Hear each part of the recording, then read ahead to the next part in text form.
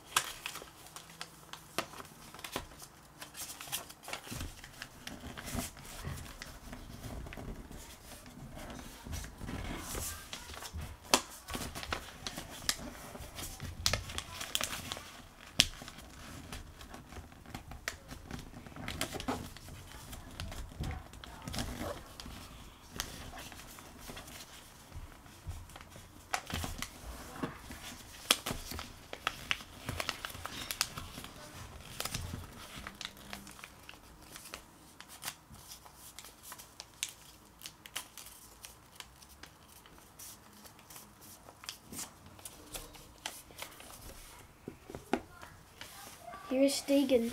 Bye.